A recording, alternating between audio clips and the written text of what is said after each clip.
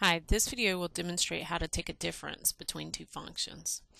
So here we have our definition of a difference of functions. f minus g of x is equal to f of x minus g of x. You have to have f of x and g of x defined in your problem. Alright, and what we're going to do in this video is work through these two examples. I want to know what f minus g of x is and what f minus g of 2 is.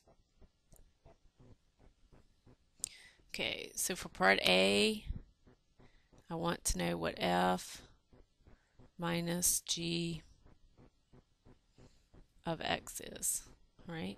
And for my definition above, I know that that is equal to just f of x minus g of x. Okay? So now really, all I have to do is substitute. For f of x, I can plug in what f of x is equal to, which from the problem I know it's equal to x squared minus 1. So for f of x, I'm just going to plug in x squared minus 1. And then I've got minus. Now I can just plug in for g of x. I know that g of x is x squared plus 1. The only watch out here is I want to make sure that my negative sign goes in front of this entire term. In other words, I'm going to have to distribute my negative sign to x squared plus 1. So I'm going to write it in parentheses. All right. So now from here I can just do the math. I get x squared minus 1, and now I've got to distribute this negative sign.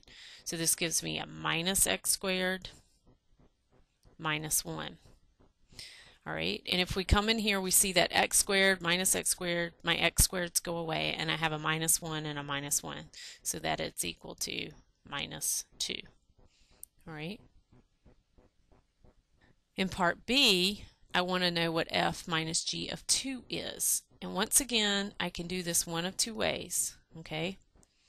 From the definition, I know that f minus g of 2 is equal to f of 2 minus g of 2. And what this tells me to do is go to my f function, wherever I have an x, I'm going to plug in a 2. So up here, f of 2 is equal to 2 squared minus 1, or 4 minus 1, or 3.